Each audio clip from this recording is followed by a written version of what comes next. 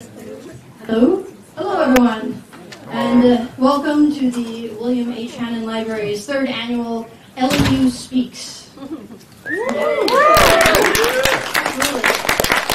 Every year we have this uh, beautiful Von der Ahe family suite overlooking the ocean and the snow-capped mountains when they're not covered in clouds. And, and we get to enjoy the wine and cheese and various nibblies. It's a wonderful night. So how many people uh, have, have been to this event before? Just show hand. Nice, awesome, welcome back. And how many people first time? Cool, very cool. And how many people are simply here because they wandered in seeing the wine and cheese and various nibbles? then it got quiet when everyone sat down. All right, one guy, one guy. Everyone else wants to own it. It's the maybe a guy in the there. All right, very good. Um, doesn't matter. Either way, welcome. You are in for a treat, truly. Uh, I am Lynn Mitchell Parrish. I had the privilege of speaking at the uh, first LMU Speaks and sharing my story. And I basically just never left. Um, I, I, come back every year. They didn't even invite me here. I just kind of snuck in, grabbed the mic before anyone else did, and no one's really stopping me, so we're all good. nice. Seems to be going okay. If you, in case you don't know, um, I work here on campus in IT. Uh, as a, yeah, thank you. Ooh, person. What was that? Oh, right there. Nice. Good to see you. Well done. Well done. Um, as the manager of uh, business operations and assets and pots and pans and various other hardware. So it's, it's a glamorous job.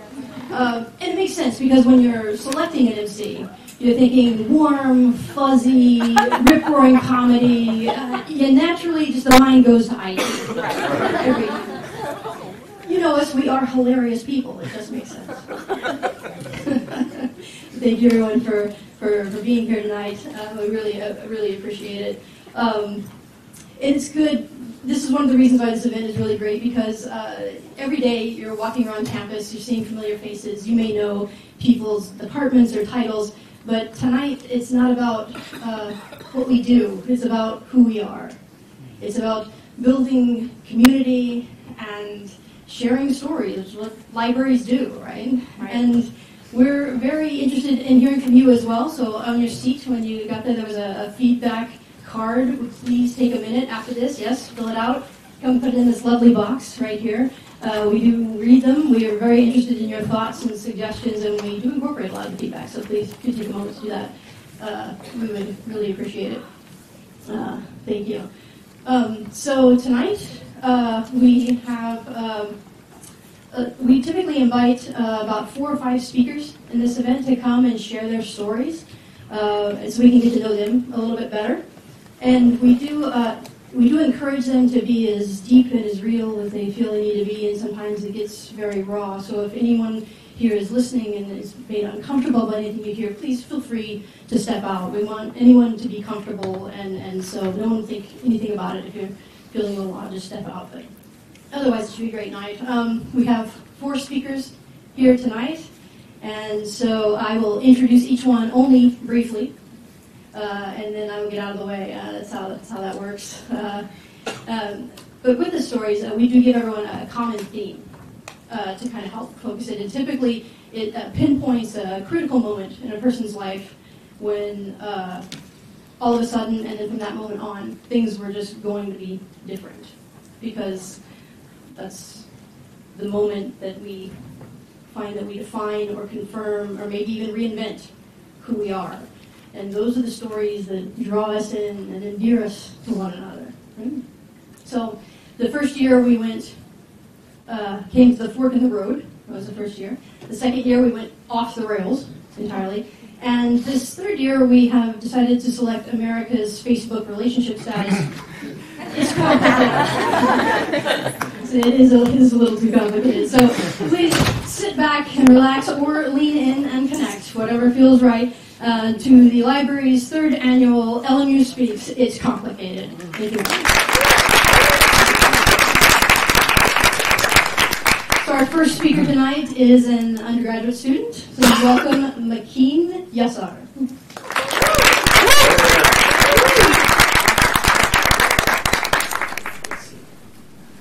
That's fantastic. One, two, one, two. Can you hear me? Yep. Yeah. Perfect. Assalamu alaikum. Just say. Walaikum assalam. I'm. Hello, everyone. My name is Makini Sar, and the greeting I just gave you is the greeting amongst Muslims. Assalamu alaikum. And it is Arabic for may peace be upon you. And the reason why I give you all that greeting is because before I start my story, I want to share with you a quote. A quote that has had a profound effect on me in terms of the way I think about change, making change, and having responsibility to act. And that quote is from Prophet Muhammad, sallallahu alaihi wasallam, may peace be upon him. And any quote from the Prophet Muhammad is called a hadith, and this hadith goes, Whosoever of you sees an evil, let you change it with your hand. And if you are unable to do so, then change it with your tongue. And if you are unable to do so, then with your heart. For me, I used to always think of change in terms of stark contrasts and well-defined differences. I used to think of walls being torn down or the embers burning from the remnants of a fire. I used to think of people organizing in mass to challenge and triumph over evil, and I always wanted to be a part of that change. And for the first time ever last year, I was able to see myself in that change. Because 2018 was by far the most impactful and important year of my entire 21 years of life. Oh, y'all. Oh, okay. I see it in your eyes. I see it in your face. I can hear your thoughts already. You guys are, okay. So I know what y'all are thinking. Entire life? How old are you? You were too young to be talking about your entire life. And listen, I get it. I get it. I'm young. And I get have a baby face. but despite those two things, regardless of those two things, last year was one hell of a year. And I'm sure some of you guys are wondering, okay, well, what made that year so transformative for you? Well, I'll tell you. I'll keep it real. I'll keep it honest. I was killing it last year. I was on my stuff. Listen, I was on fire last year. It was absolutely incredible. Do we have any basketball fans in here? Okay, we got a couple. Any Lakers fans, specifically? There we go. Laker fans strong. All right, do y'all remember that season in 2009, 2010 where Kobe had like something like 10 game winners, right? And then he went to the playoffs and the finals. He was averaging 30 plus points a game. And we ended up winning the championship against the Boston Celtics. Last year was my Kobe year. I was balling. I was absolutely balling. I'll tell you how I was balling. First things first. I was doing research with one of my professors, right? Uh, my major is health human sciences, and we're doing research on the proprioception of those with past and present history. I'm talking data collection, I'm talking abstract writing, I'm talking student training, you know, the whole nine yards, poster creation. Sounds cool, right? Even better, during that time, simultaneously, I was writing a grant proposal for a project to the Strauss Foundation. And we'll put a little note on that, and we'll get back to that. But during this time, it was a very, very important time. So, know, look at that note, it's there. Okay. Next, I was also working on campus as a manager for our school's event operations. I went to the poster competition, undergraduate poster competition in Atlanta. I went to Atlanta. I was also, uh, got, I had the honor of becoming a Daniel K. Inouye Tomodachi Scholar. This means that I was able to go to Japan for the first time. I was the first in my family to ever go to Asia. I was one of the few people to ever leave the country in my family. I was running programming for Japanese students. I was doing college awareness programs, running field trips. I was doing tutoring sessions at Westchester High School through a service club on campus called Harambe Mentorship. Everything was just going, going, going, by, by, by. And one day, on my managership, I got a call from a Mr. Duncan Strauss. Now, for those of you who don't know, the Strauss Foundation is a philanthropic organization that funds scholarships and grants to undergraduate students for public service projects, whether it be domestic or international. And so, for the proposal that I pinned right here, I was writing a proposal that was for a project called the Emotional Health Project. And the Emotional Health Project was going to be a project that was a health exposures program at Westchester High School that focused on college awareness, academic preparedness, health education, direct professional exposure for students at Westchester High School. It was going to culminate in a community event, specifically a community health fair, that was meant to connect our resources here to the greater Los Angeles community. and I was getting a call because I had won, I won. the very next week, I got an LMU Student Service and Leadership Award. I got straight A's on 18 credits. I won my championship. And how did I celebrate, you may ask? I went to Disneyland. No, I didn't go to Disneyland. I didn't go to Disneyland. I did something that was tenfold better. I took a study abroad trip, three weeks intensive summer abroad trip to Ghana. A completely life-changing experience. I was able to go to Japan again for another program. I got a new job as a medical assistant. It was one of the best summers ever. And I wanted to keep pushing. I had to. I wanted to keep pushing hard. Because coming back, heading into the fall semester, you know, if I'm going to be Kobe, I got to repeat. Mamba mentality. I was motivated, inspired. I was clear-headed. I knew exactly what I had to do. I was going to create this brand new program at Westchester High School. I was going to be a model for other LAUSD schools. I was going to help become an uh, advocate for change. I was going to be this health advocate. I was going to be this educational advocate. I was going to take 20 credits of classes and get straight A's. exactly. Get back to that. But you know, why not? Because of how things have gone, I knew that they were going to keep going well.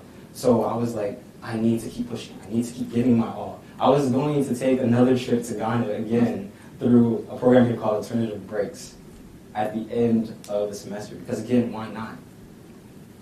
And I was going to find new ways to be able to liberate my people. I was going to make change. And during that time, it was really great because people were giving me thumbs ups, they were giving me pats on backs, and they were like, You're doing amazing. Oh my God, we're so proud of you. You're just incredible. How are you able to manage all of this? How are you able to do all of this? This is insane. How, how was I able to do it?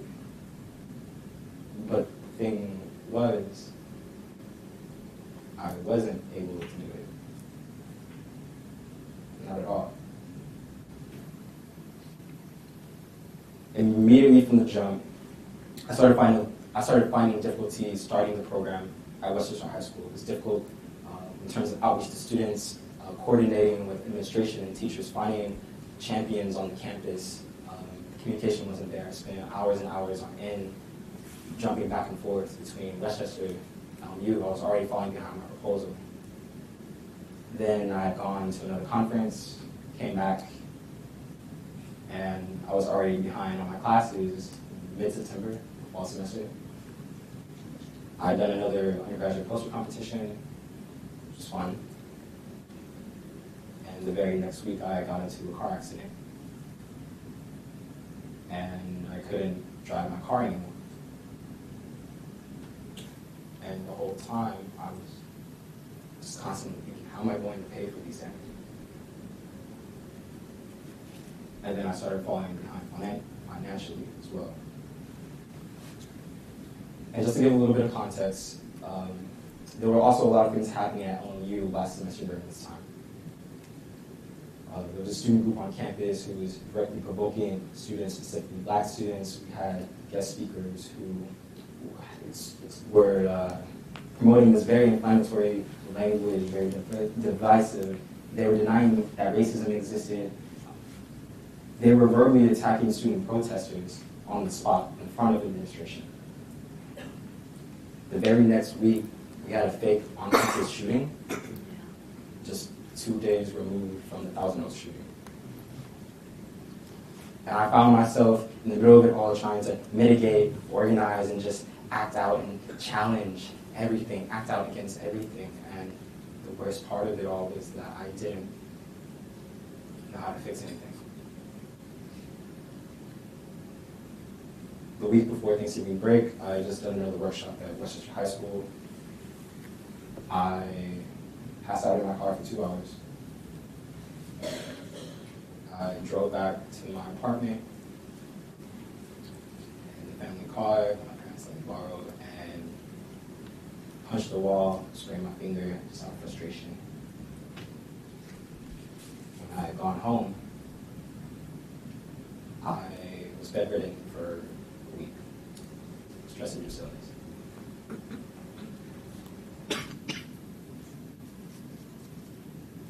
And when I got back, I canceled everything. I was just like, let me just focus on my classes. I just need to catch up. I had six classes worth of material that I just couldn't understand. Things I was able to understand, I couldn't remember. I wasn't eating. I was sleeping heavily. I wasn't talking to anybody because I couldn't them in that. But just so many things that I couldn't fix. So prom- so many promises that I couldn't keep. when I got home, my heart was heavy, my pride was bruised, my grace had completely tanked. I developed a mental pause and a verbal stutter. And I wasn't able to tell anyone because I didn't want anyone to hear me. For all they knew during that break, I was in Ghana. So I spent the entirety of those four weeks sleeping 12 hours a day and getting back on a normal eating schedule for the weight that I had lost. It's complicated. Because all this happened very recently. The story isn't necessarily over. But I'm not necessarily the same person I was last year versus now. Tolerance for stress is much lower. I still have trouble focusing. I'm diagnosed anxiety, my depressive symptoms, they come and go.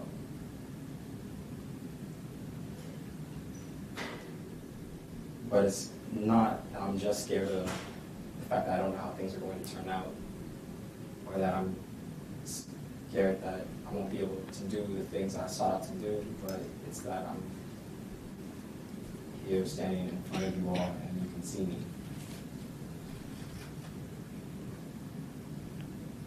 I've always held myself to a very, very high standard, uh, almost unreasonable one, admittedly.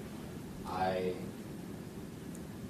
always felt that my blessings were a privilege and that they were meant to be shared with others, and to do anything otherwise would be a waste of that blessing. I had the tools and the keys to success, and success was and is the only option. Success is the only option when your community doesn't have the privilege of being in the same space as you to be able to benefit from these opportunities. Success is the only option when there are people in your community who will never be the same age as you in the same space. The success is the only option when there are people dying. Yeah, it's complicated. Albeit same time, I'm still trying to manage family bonds, professional networks, um, friendships, my personal relationship for four years. During that time.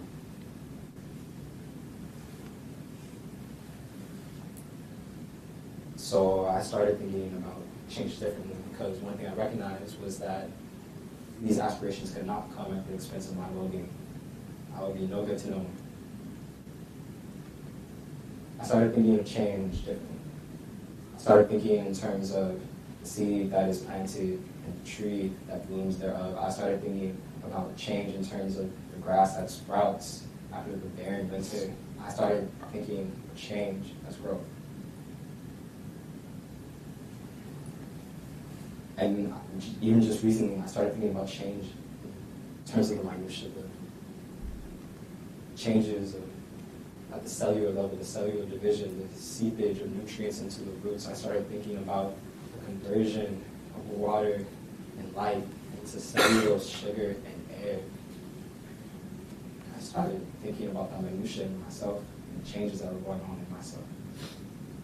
I started thinking of change in terms of me getting my sleep and that being change in terms of me eating more than just half a meal a day and that being change of me taking time for myself, saying no to meetings, being kinder to myself, exercising after not doing so for half a year.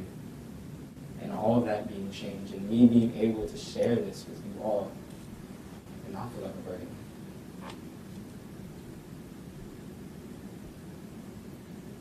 And so as I start noting the changes within myself, I can only hope that my seeds will bloom. And before I finish, I would like to share with you one more quote from Quran, Surah Al-Baqarah, chapter Ayat 216. There may be something that you love that is not good for you. And there may be something that you dislike that may be good for you. Indeed, Allah knows while you know not. Thank you.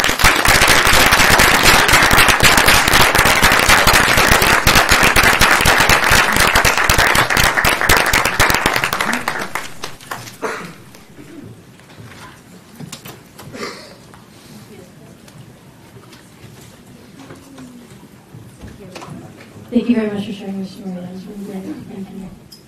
Our next speaker uh, is an instructor in the rhetorical arts out of the Bellarmine College of Liberal Arts. Uh, please welcome Lynn Hua.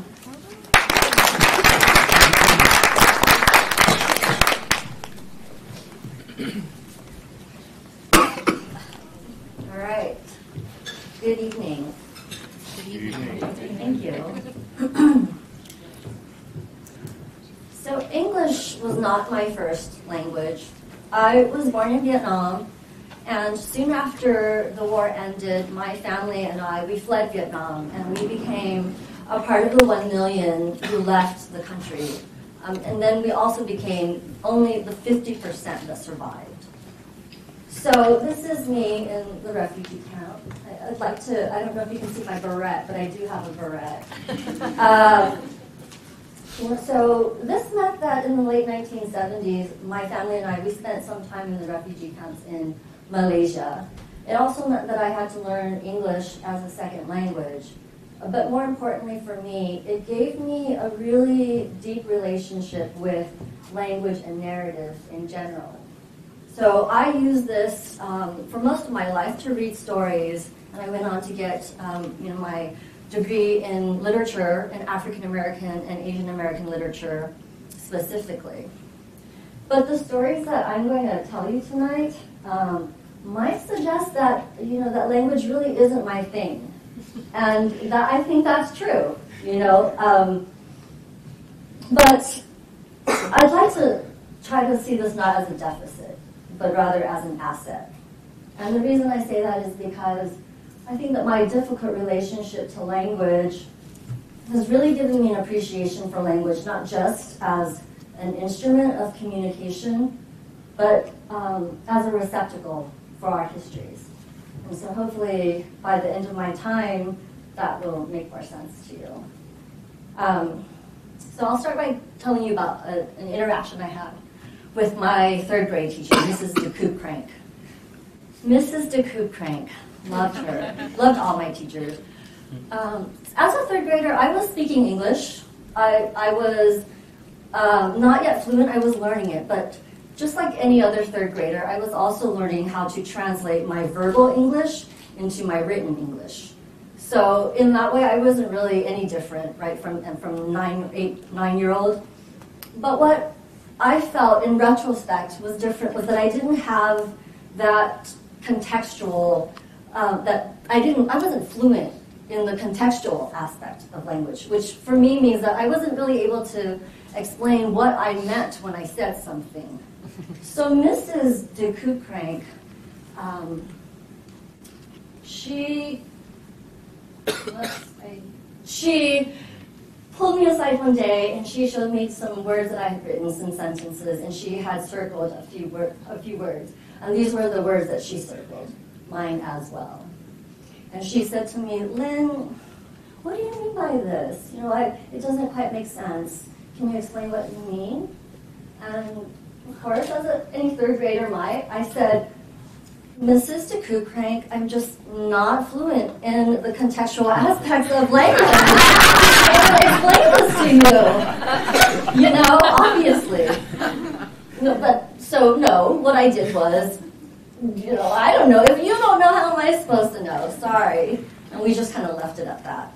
Um, I didn't harbor resentment. I, there was no deep meaning for me at the point, at, the, at that moment.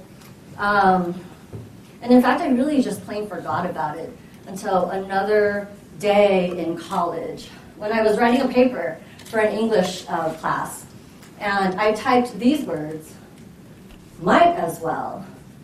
And for some reason, oh, that's what I meant in the third grade when Mrs. DeCoupcrank asked me, we might as well go to the store, we might as well go to the store. Same thing, right?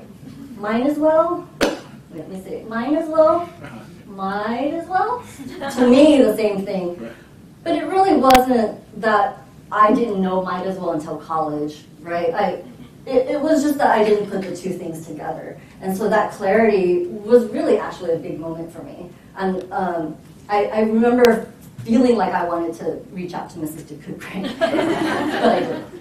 Um, so I think, you know, I, I start with the story, but I don't want you to get the impression that, that it's English or that it's school that makes language difficult for me, because actually, probably like most of us, language begins at home and in the family space.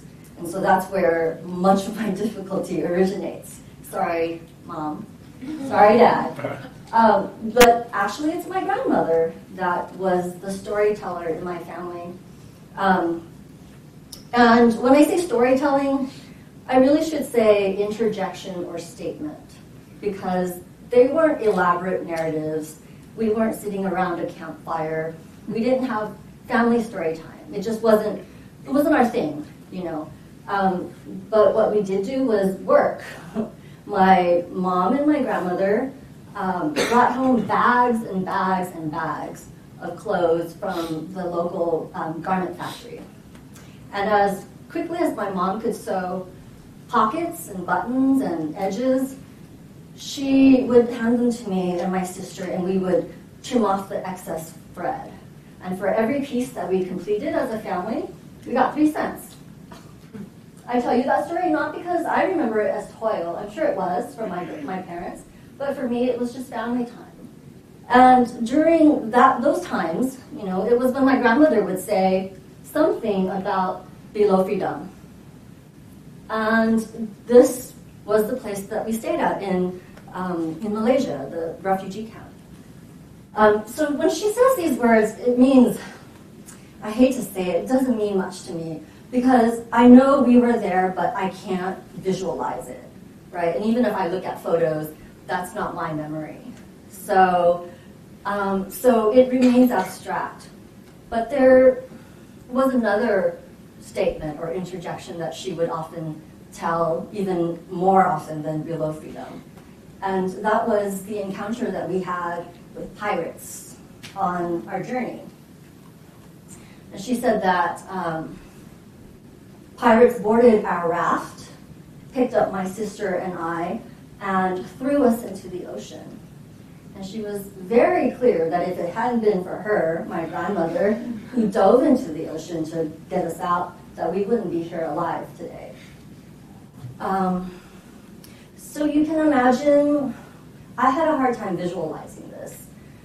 Captain Hook with his black hat, his long red coat, his sword, and his hook, boarding my raft.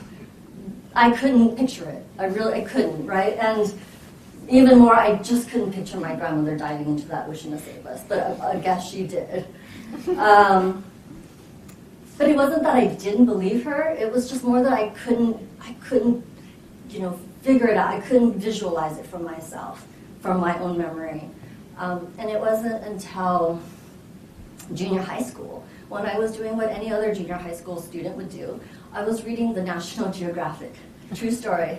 Love National Geographic. I know it's problematic, but that's that's over there. that's over there. So I was reading an article and I came upon, just accidentally again, something on Thai pirates and the fact that Thai pirates were ransacking and robbing um, fishing boats in the Ch- South China Sea.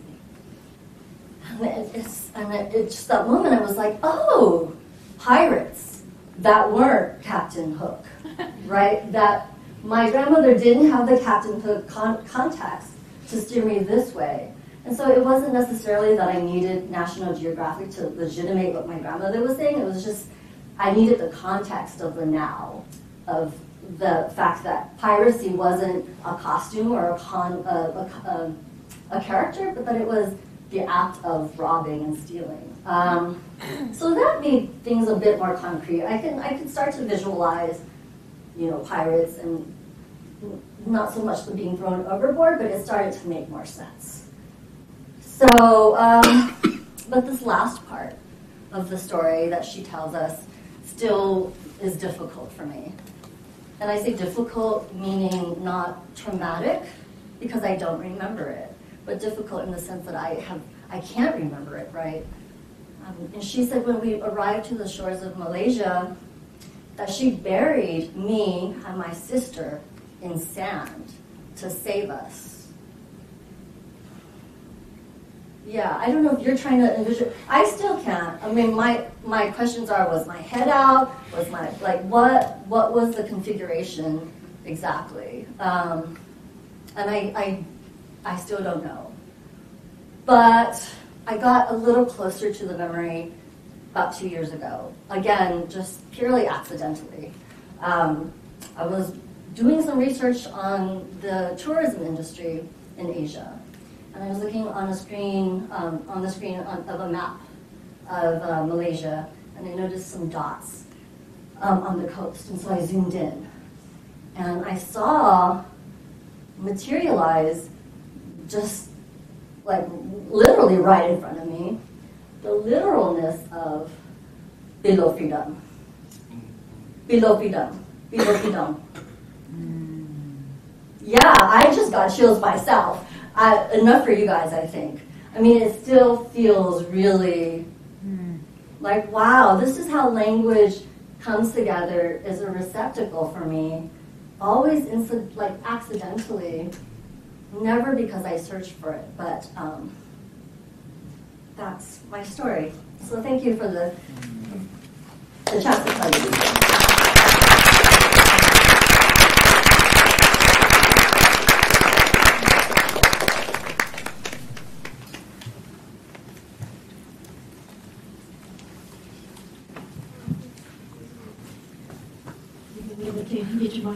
you. Thank you for sharing that story. Thank you so much. This is why we do this event. It's just to have a moment to, to get to know people in a totally different way. It's really, really nice. Um, our next speaker is another undergraduate student. Please welcome Kelsey Mares.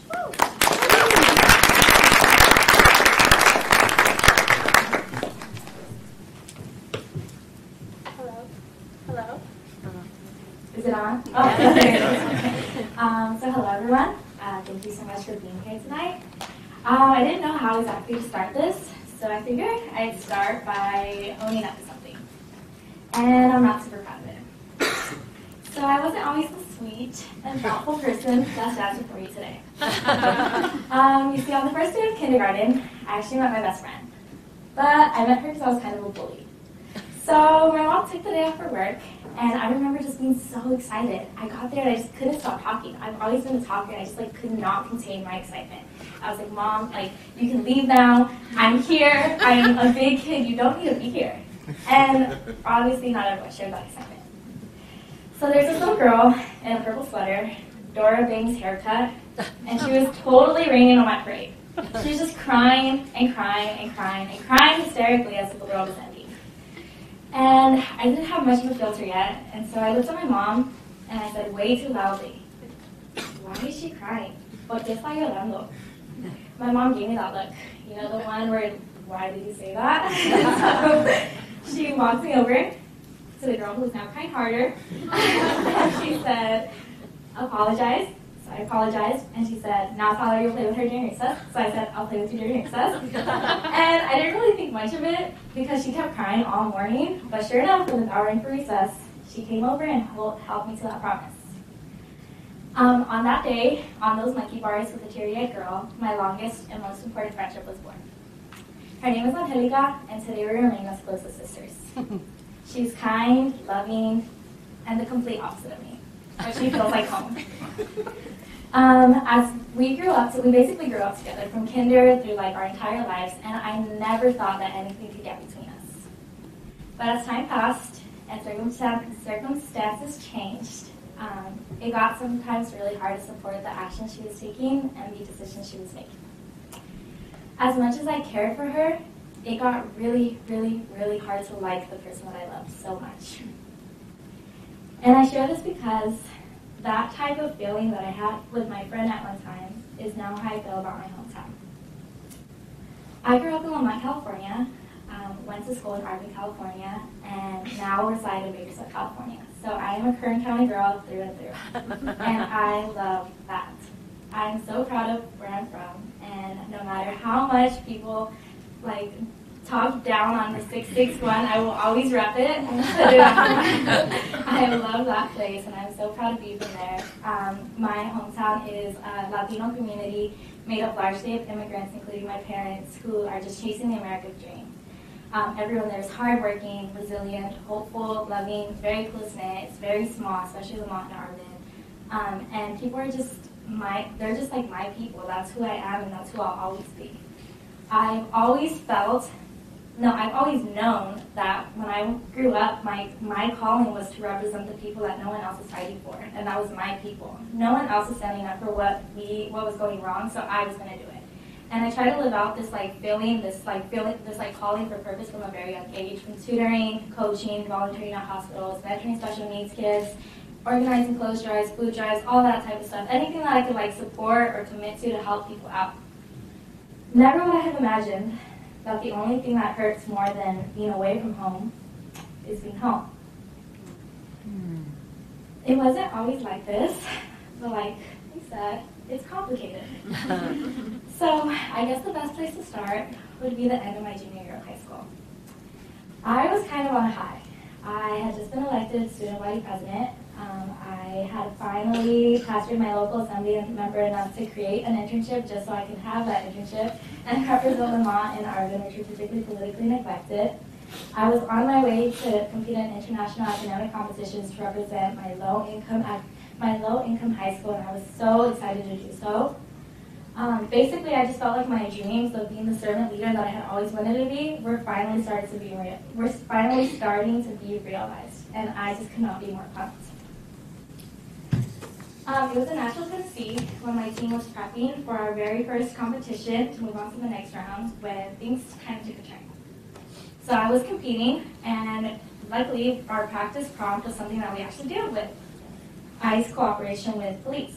And so it was, a project, it was probably kind of pretty close to home because we had already been going to city council meetings about making our sanctuary in the city, yada, yada. Basically, we knew we had to move back. But um, I got a series of texts from an unknown number. And so these texts, I checked them out, right? Because I'm in Tennessee. I was like, what did my parents make me or something?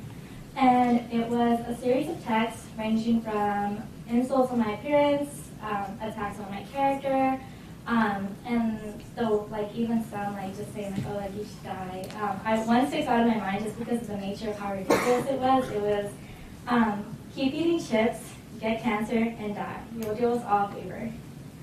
And, yeah, these were mean, but I'm a very competitive person, and I was about to go on, so I kind of just brushed them off, which kind of sounds the same, but I just wanted to win, you know? So I didn't think much of it, and I was like, whatever, things happen, okay. Little did I know that this was only going to be the beginning of a very long school year. So I started school, and by the time that it rolled around, I had pretty much figured out who was behind the text. I mean, they weren't really hiding much. Um, unfortunately, two of the people were on my leadership team. So as we were setting up for our very first Welcome Back to School dance, it was Alice in Wonderland themed, a black light dance. Um, someone decided to hang up a Make America Great Again poster. And so I kind of looked at that, and my team kind of looked at that, and we were like, what does that have to do with this? Like, okay. And so, as president, it was my responsibility to obviously ask that it be removed or taken down on the grounds of it being not only completely irrelevant to our event, but also just insensitive to like the student population.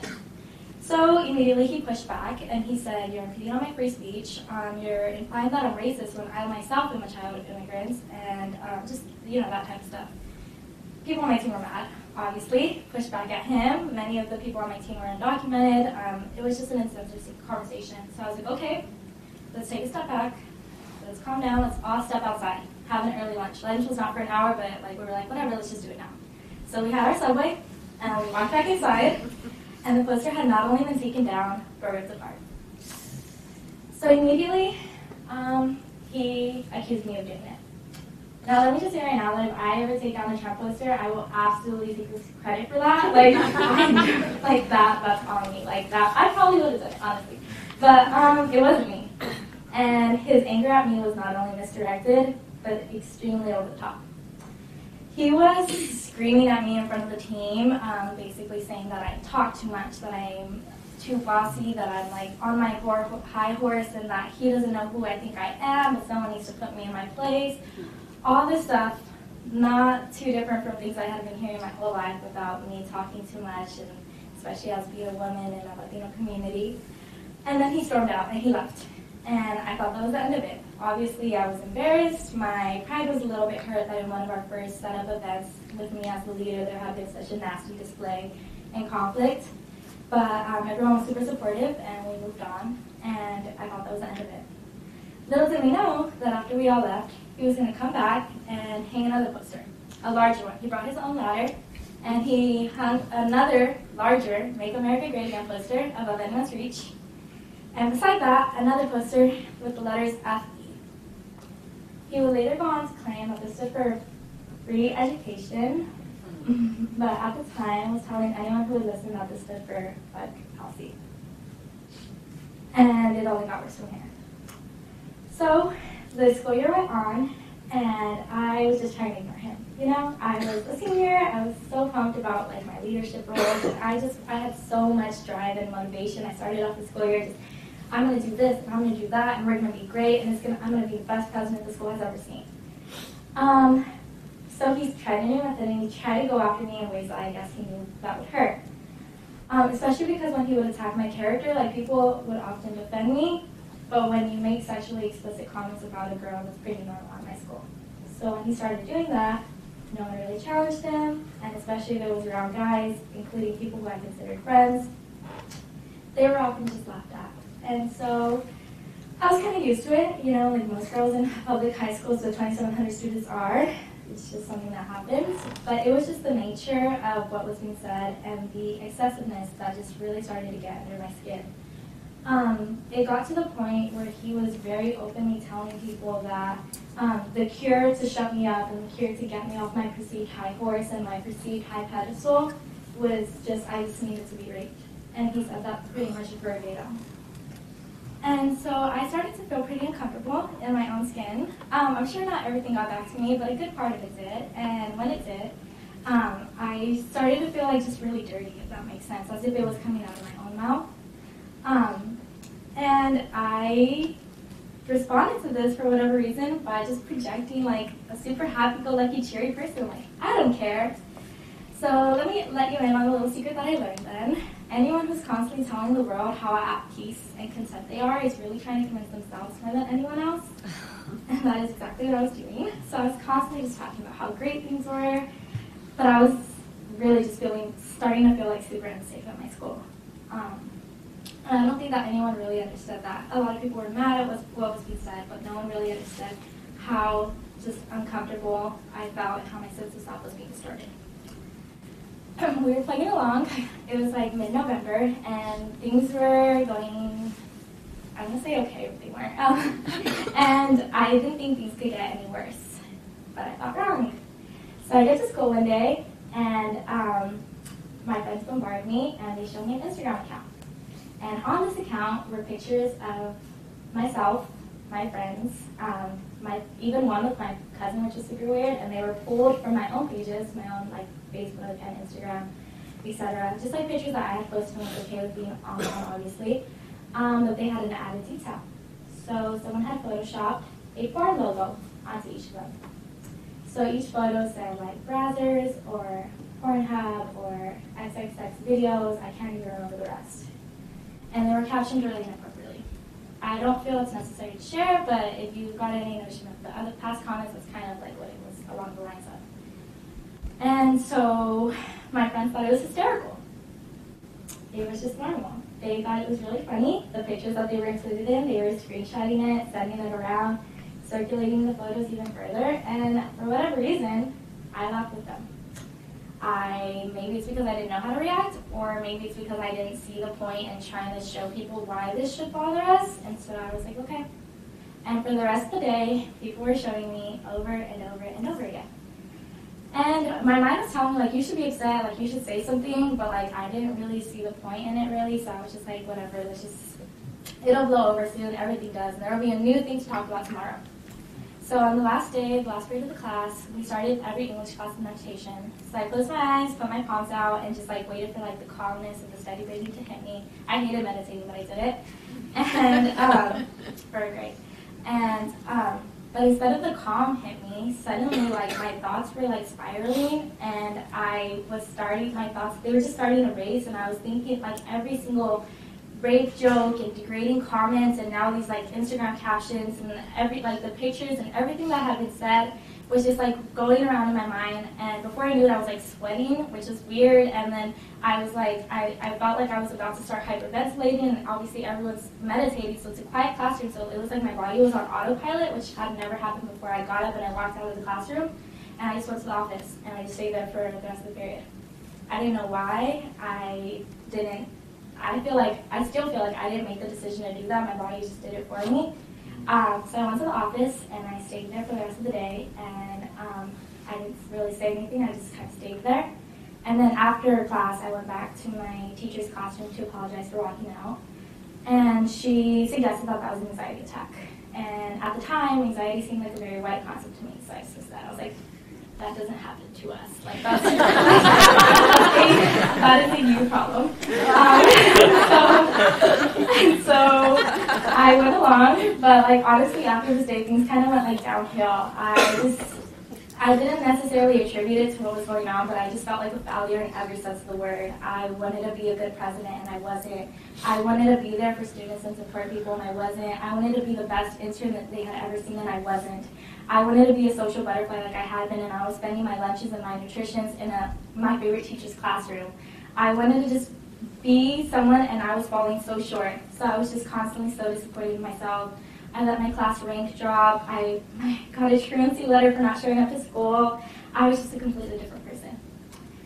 And so I'd say they got to me, but I never really like addressed it. I never even told my parents any of this. Like I just kind of went along.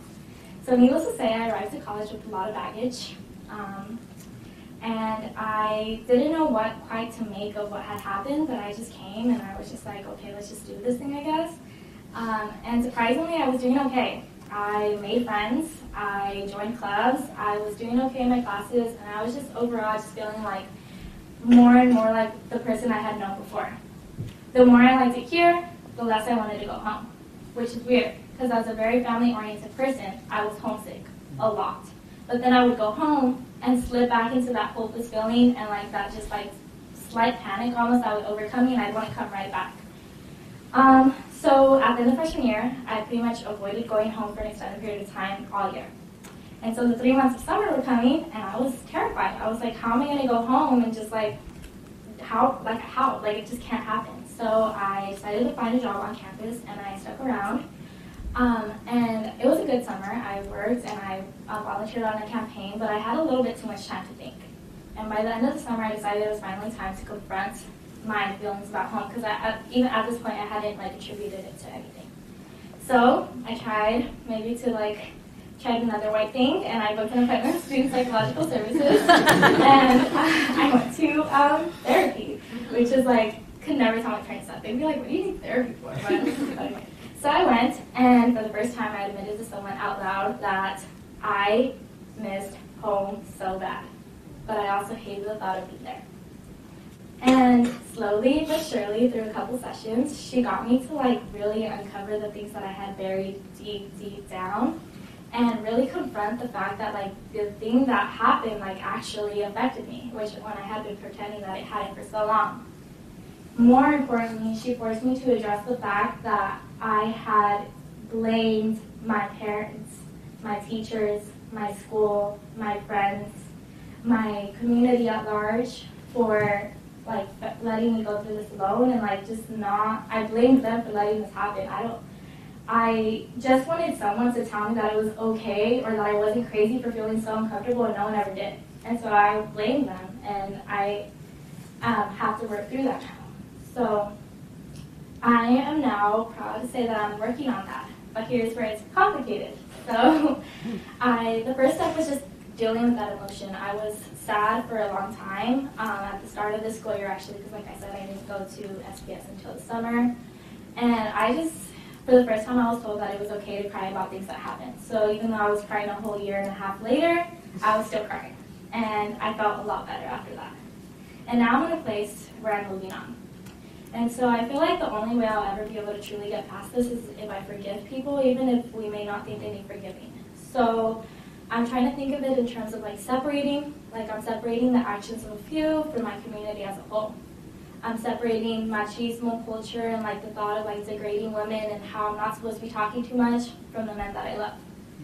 I am separating my hurt from my home. And this has been a really, really big, messy challenge that I can only work through one day at a time. But a lot of people at LMU, many of whom are here in this room today, have helped me because they've um, I came to LMU feeling like a failure after just an unsuccessful year, and they showed me, or they made me feel that there was still some light and potential in me after I was so sure that the light had gone out forever. And so even though this story is about what happens next, I couldn't tell you. it's complicated right now, and we're working through that right now. Um, and I think that things are getting better. I, over winter break, I shared one of the incidents, the photo incidents with my mom, she had no idea what had happened.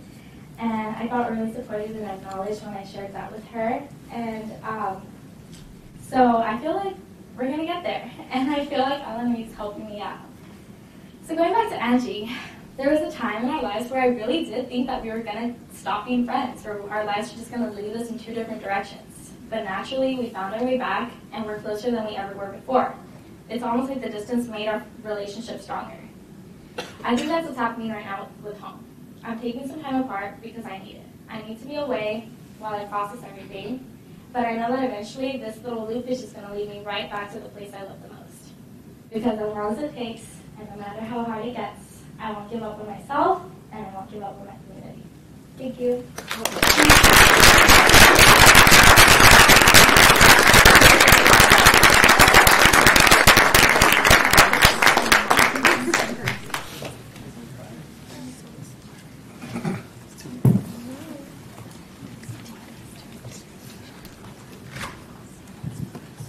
Thank you for that. And the difference between high school and being at LMU is that the Trump poster piece, this would be like I am Spartacus moment. Everyone would be saying, I tore down the Trump. No, I tore down. No, I tore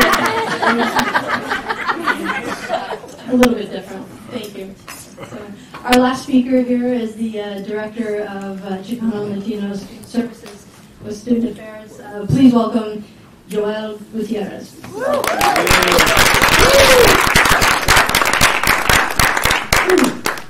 Guess I'm what separates us from the bar, right? wow, all right. Thank you to the speakers before me. Ooh, I'm, I'm still, I don't remember what that mean in high school.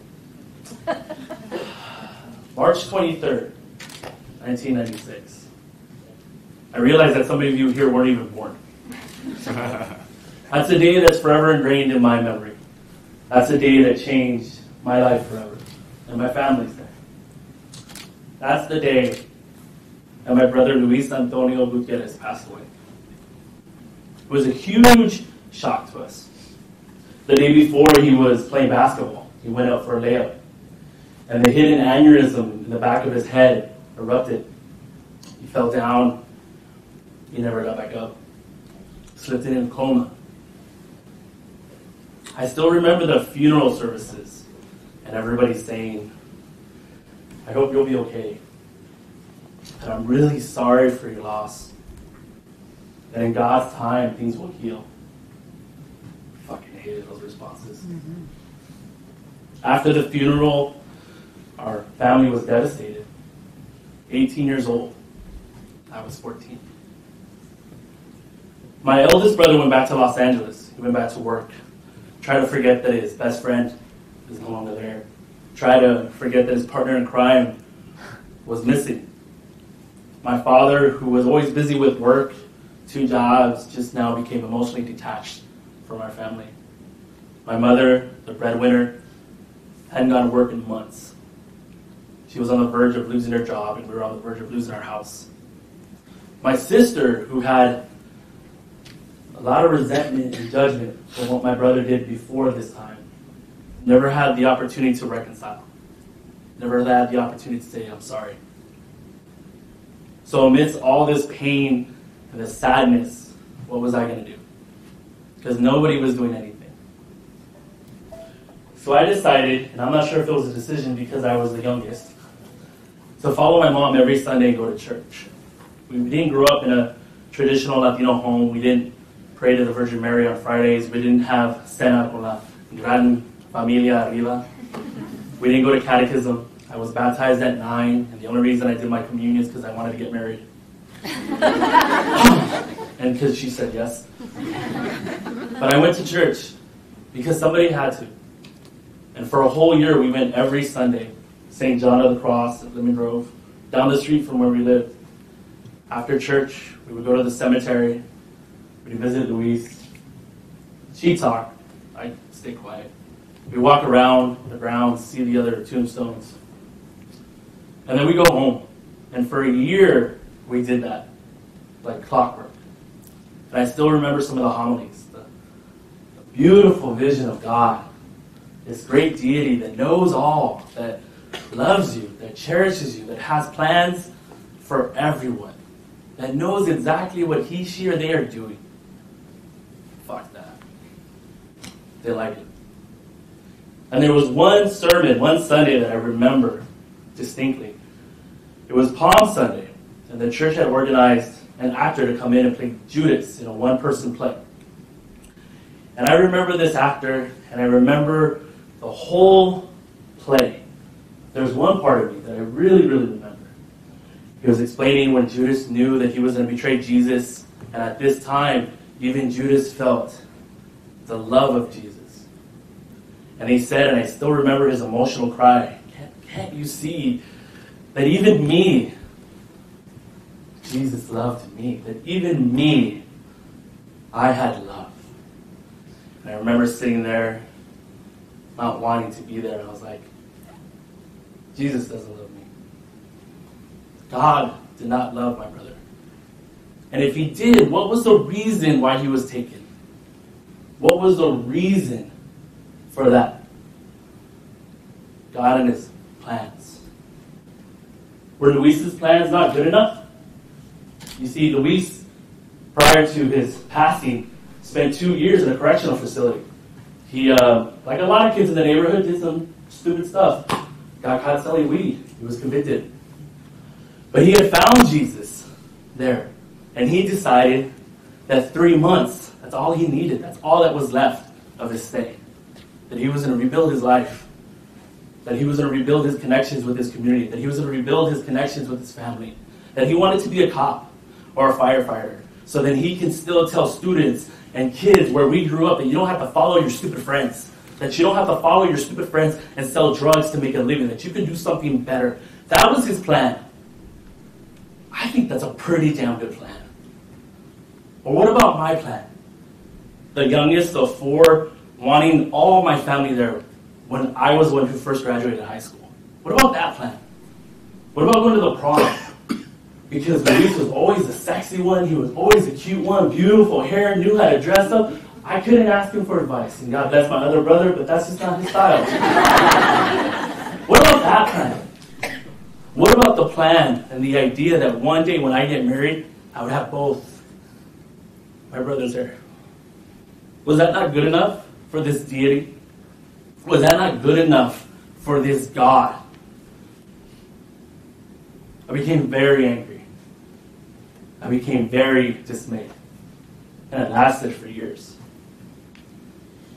December 2000. I just finished my first quarter. For those of you, quarter is a 10 week system at UC Davis. And I come home, and it was a challenging quarter. I wasn't getting advisement, so I took two freshman flunkers. I took Econ 1 and I took Poli Sci 1 in the same quarter. Um, and I failed. Yeah, no, don't do that. So I was on the verge of getting kicked out of school. Because at that time, there were no, we'll help you out It's just either you make it or you don't. And I didn't tell anybody. I really didn't. I, I, how could I? The, the first one to graduate high school and now go to college and not graduate? Child, I, I can't do that. Well, my parents are gonna. Why, why can't you go to school? It's learning. It's just sitting down in front of the class. No. So I went home that summer, that December. I was pissed. I was mad at myself. I was mad at the teachers because he couldn't teach me right. I was mad at the school system because I shouldn't have taken those classes. I was mad at the quarter system. I should have stayed home. And I was really mad because I didn't have Luis to talk to. December 22nd, my birthday. Same year. I turned 19. And I remember my family, we went out to dinner. You know, sang Los Mañanitas, the birthday song. I came home. Everybody went to their rooms. And I just sat down. I was like, all right, cool. I'm 19, two more years till 21. Whew. I'm 19, another year. Oh shit, I'm 19. Why is that important? I am now older than when Luis died. What the? I'm now older and will forever be older than my older brother Luis. Man, that, that tripped me out. To know that at 18 he was gone.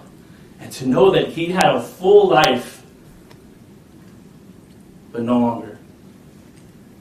That did something to me. That, that really changed me. And the realization was that I was still here. The realization was that I still had breath. I still had days. And that changed me. I realized that all this hurt and all this anger and all this frustration and all this unknowing didn't really do anything. And what I needed to do was what Luis did all the time. For all his shenanigans, for all his desmadres, he was a fighter. When he wanted something, he got it. If he wanted the girl, he got the girl. If he wanted the car, well, he got the car. And if he wanted the job, he got the job. And unfortunately, if he wanted to do some bad things, he did some bad things. But whatever he wanted to do, he got it done. And I thought, if he was here, he would do it 10 times better than I would. So I went back the winter quarter, not spring semester, winter quarter, and I grinded. It was hard, it was tough, and every time I complained, every time I worried about my grades, every time I didn't understand something, I sat back and I thought, what would Luis do? Well, he wouldn't complain. He would keep going. He would find tutoring. He would find this. He would find that. He would grind that shit out because that's what he was. I started writing little things. Of course, si se puede. But I put it them differently. I said, Luis wouldn't give up. So why the fuck are you? Luis would do it 10 times better, so stop whining. Luis was better than you, so you need to kick ass. And these became motivation. These became things for me because what I realized was that I still had days. What I realized was that I was still here. And the life I needed to live was not my own. The life I needed to live now was for Luis. And that fueled me. It fueled me to graduate undergrad, to move to Los Angeles, to get a job, to find a beautiful partner and get married, to go get a master's, and now work on my doctorate. It fuels me. Because for me, that's what he would have done. He became my inspiration. And that's what he left. His plan, whether through life or through death, was to give us hope and to give us the possibility that we are better than where we stand now. I didn't understand it at 14. I still didn't get it at 19. And I barely understand a little bit at 37. But he's still with me. We still have the same blood in our veins. I still have his ganas. I still have his passion and I still have days left. Thank you.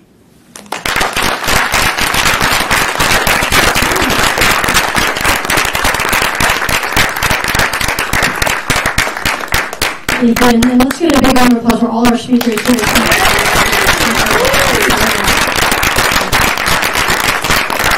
And I also I want to thank the, the library programming team, the head of outreach and communications, John Jackson. Go ahead. Uh, the, manager of special events, Carol Raby. Uh, Assistant librarian, Stephanie Wright. The librarian of collections development and evaluations, did I get that right? Jamie and our, uh, our poster designer, uh, Tess Reed. Yeah, just. And of course, I want to thank the Dean of the Library, Chris Brancolini. Thank you very much. Thank you for supporting this event over and over. A huge thank you, of course, to the Senior Director of uh, Ethnic and Cultural uh, Student Affairs, Henry Ward.